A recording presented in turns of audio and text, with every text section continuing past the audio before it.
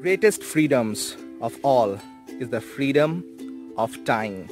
Most people out there are working so hard, but they don't have the time freedom to spend with their family, to spend their time with themselves, maybe in the forest, maybe in the hill, maybe in the beach.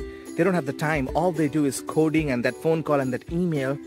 You choose which life you want. Now you say, Bishal, realistically speaking, do you think I really live an unrealistic life? No.